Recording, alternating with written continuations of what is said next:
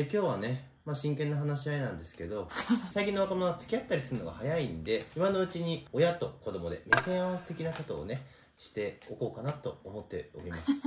いくつかね用意したからそれについてこう2人で。はい片岩をね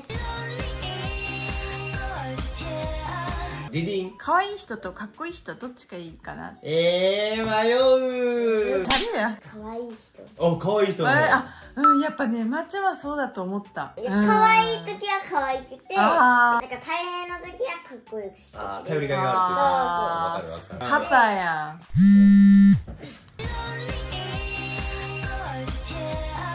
お前って呼ぶ人。あーこれね。経験ありはいどうぞひろゆき私の意見を言わせていただくと お前って呼ぶ人はみんなそれぞれ名前あるんで、もし彼氏連れてきて、彼氏が、まのこと、お前って呼び始めたら、俺はその彼氏のこと、一生お前って呼び続けるから。めんどくさいでしょ？ちょっと一回お前って呼んでえー、やだよ。いいから呼んでじゃあ演技ってことは忘れないで。演技演技、うん。いや飯美味しかったね。美味しかったね。お前さこの後予定どうなってんの？あ？いつだ よくない。その言い方だ。その言い方ブブまあそれがやりはいはいたかった。はい。はいそれがやりたかった。はい。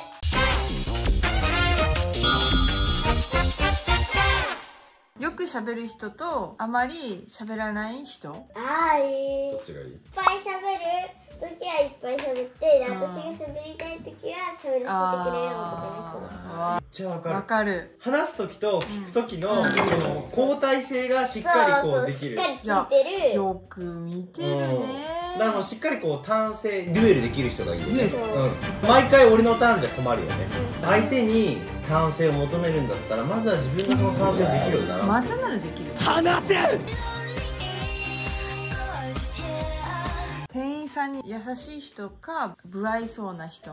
不愛想ってどういうこあはいああ大丈夫です。とえ優しい人してみてあありがとうございます。あ袋をいただいていいですか？すいませんあれ人大丈夫です。優しい人の方がいい。でもねこれ俺一つずっと前から思ってることがあって、うん。店員さんに優しすぎる人はちょっと怖い、なんで？優しくある必要はないの。普通でいいの。だから店員さんに嫌な気持ちをさせない程度のコミュニケーションをそれ取れればそれだけでいいの。店員さんにどんなに優しくてもマーチャンに冷たいんだったらそれは意味がない。いやはいはいはいははい抹茶どうぞ。私にも優しくさんにも態度がいいうんメリハリのある方がいい次じゃあ次行っちゃうの？この状況いないの料理ができる男性とできない男性。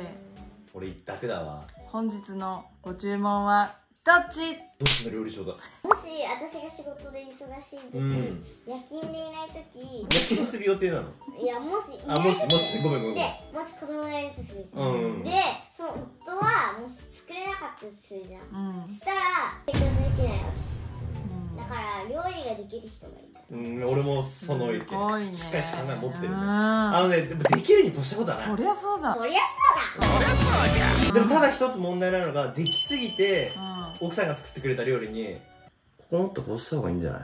とか言ってくる人はちょっと嫌だなって思っちゃあ確かに私。でも俺料理できないから。んそうそうそう言うね。いやいやでも確かにパパの言ってる通りだよ。ご飯作ってもらって文句は言っちゃダメだよ。じゃあ自分で作るって話になっちゃうから。そうなのそうね。うん日本の人と外国の人だったらどっちがいいですか？ああんの？外国の人がいい。あ本当？まあ、まー、ちゃんもその国の言葉を覚えないとコミュニケーション恋に至るのは難しいかも。その外国の人とお付き合いしたいから英語を学ぶっていうのはすごいいい原動力だったでも確かに彼氏ですっつってアルバートとか連れてきてびっくりよね。うん。はーいっつってね。おもろいこと言う最後の質問です。はい。じゃあ今まで出会った人の中で一番結婚したいって思う人は誰ですか？はい、ちょっと恥ずかしいんだけど、ん。お笑い芸人のうん。チョコプラの長田さんとあと誰だっけ？長田さんと誰だっ松尾さん？けそうそう松尾さん。と。と結婚したい。山 のの神を凝らしたらダメだよ。山の髪を凝らしたらダメだよ。山の髪を凝らしたら怖い怖いぞ。